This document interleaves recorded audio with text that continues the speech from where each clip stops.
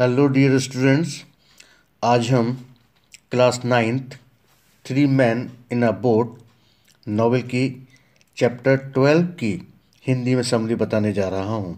आशा करता हूँ कि आप इसे पसंद करेंगे और अपने दोस्तों में शेयर करेंगे। तो शुरू करते हैं। तीनों मित्रों ने अपनी यात्रा फिर से शुरू कर दी और मैग्ना कार्टा द्वीप पर जा पहुँचे। वहाँ एक कुटिया में एक पत्थर रखा था। कहते हैं कि राजा जॉन ने मैग्ना कार्टा पर हस्ताक्षर वहीं पर किए थे। परंतु कुछ अन्य लोग कहते हैं कि हस्ताक्षर दूसरे किनारे पर रनिंग मीट में किए गए थे। पिकनिक पॉइंट के पास एक पुराने मठ के अवशेष मिले हैं। कहते हैं कि हेनरी एट वहाँ एनी बोलिन से भेंट की, भेंट करने आते थे मीन्स मिलने आते थे। वह उससे कैंट में हैवर दुर्ग और अन्य स्थानों पर भी मिला करते थे। उन दिनों संभवतः आपको इंग्लैंड में कोई ऐसा स्थान नहीं मिल सकता था, जहाँ कोई भी प्रेमी जोड़ा प्यार करते हुए ना दिखें। यदि आप कोई दरवाज़ा खोलते तो उन्हें कमरे में पाते। यदि आप बगीचे में जाते तो उन्हें किसी कोने में इकट्ठा पाते। तीनों मित्रों ने अपनी यात्रा जारी रखी और रात के दस बजे वो लोग डैचेट पहुँचे। जॉर्ज ने जेरोम से पूछा कि क्या उसे याद है कि वो पिछली बार वहाँ कब रुके थे?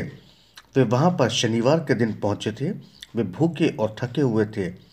वे अपने टोकरे और थैले उठाए, एक होटल के पास आए थे। उनका वहाँ ठहरने का मन था, परंतु जेरोम को वह पसंद नहीं आया। क्योंकि उस पर हनिस्कल नाम की फूलों की बेल नहीं थी, इसलिए वह थोड़ा आगे बढ़े और एक अच्छे होटल के पास पहुँचे। उस पर फूलों की बेल तो थी, परंतु उसके मेन गेट पर एक लाल बालों वाला आदमी खड़ा था। हैरिस को उसकी शकल सूरत पसंद नहीं आई, इसलिए वह इस होटल पर भी नहीं रुके। वे किसी अन्य होटल की खोज में आगे बढ़े, परंतु नगर में अन्य कोई होटल नहीं था। वे उन्हीं होटलों पर लौट आए, जहाँ ठहरना उन्हें अच्छा नहीं लगा था।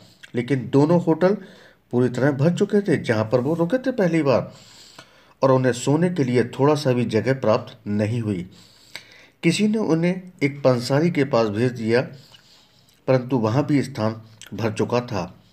एक बूढ़ी महिला उन्हें अपनी सहेली के पास ले गई, जो कभी कभी लोगों को कमरे किराए पर दिया करती थी। परंतु उसके कमरे भी भर चुके थे। इसलिए वे फिर से सड़क पर आ गए और हैरिस बोला कि मैं तो यहीं मर जाऊँगा। उसी समय एक लड़का वहाँ आ पहुँचा। उसके हाथ में एक बियर का डिब्बा था और दूसरे हाथ में रस्सी बांधकर कोई चीज़ पकड़ रखी थी। वह उनके लिए फरिश्ता साबित हुआ क्योंकि वह बोला कि उसकी माँ के पास एक कमरा खाली है और वे लोग रात भर में, रात भर के लिए उस, उसमें रुक सकते हैं। लड़का उनको अपनी कुटिया में ले गया, उसकी माँ ने उन्हें गर्म भोजन और चाय दी, फिर वह सोने के लिए गए। कमरे में दो बिस्तर थे, एक ढाई फुट के करीब लंबा था और दूसरा बिस्तर बच्चे के सोने के लिए था। किसी प्रकार वह उन पर सो गए, लेकिन उन्होंने ये डिसाइड किया कि वो भविष्य में होटल चुनने के बारे में ज़्यादा कोई नुकता चीनी नहीं निकालेंगे, मीन्स उसमें कोई डिफेक्ट नहीं निकालेंगे। तीनों आदमियों ने यात्रा अपनी जारी रखी और वो मंकी द्वीप के पास दोपहर का भोजन करने के लिए रुके। उन्होंने ठंडा मीट खाया। जेरोम को राई की चटनी खाने की इच्छा हुई, परंतु वह चटनी लाना भूल गए थे। वह बोला, मैं मैं इसके लिए दुनिया दे देता हैरिस ने कहा। वह भी राय की चटनी के डिब्बे के लिए दुनिया दे देता उन्होंने ये बात बिना समझे जोश में कह दी और राय की चटनी मिलने पर वो अपने वचन से मुकर भी गए। वह एक आदमी के बारे में भी बताते हैं, जो बोलता था कि एक बियर के गिलास के लिए वो दुनिया दे देगा। वह एक स्थान पर आया जहाँ उसे बियर मिल गई। उन्होंने उसका मूल्य पाँच फ्रैंक मांगा। वह बोला, ये तो भाई साहब बहुत अधिक है। और उसने इसके बारे में टाइम्स को लिखा भी था। उनके पास पाइनएप्पल जूस का एक टिन था जिससे वो खोलकर जूस पीना चाहते थे। परंतु उनके पास टीन खोलने के लिए कुछ नहीं था हैरिस ने उसे चाकू से खोलना चाहा, परंतु चाकू टूट गया और उसे चोट लग गई। जॉर्ज ने उसे कैंची से खोलना चाहा, कैंची उछल गई और उसकी आँख फूटते फूटते बची। जेरोम ने उसे खटके से खोलना चाहा, परंतु वह फिसल गया और जेरोम नाव के बाहर जाकर गिरा।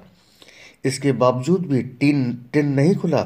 फिर जॉर्ज ने टिन को पकड़ा हैरिस ने उसके ऊपर नुकीला पत्थर रखा और जेरोम ने पत्थर पर मस्तूल से चोट मारी। मस्तूल, जो कि नाव में लगाया जाता है, बैलेंस के लिए, जॉर्ज के तिनकों से बने हैट ने उसकी जान बचा दी।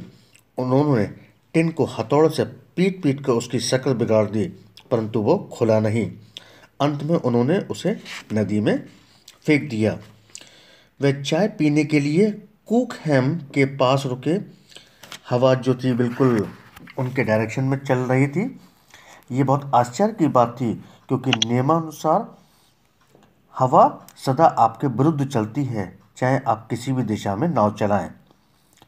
जेरोम नाव की दिशा नियंत्रित कर रहा था। उन्होंने दूर स्थित मछली पकड़ने की, पकड़ने वाली चपटी नाव देखी।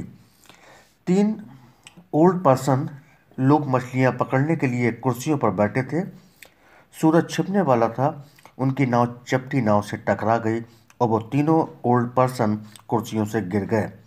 उन्होंने इन तीनों को इस बात के लिए को, कोसा।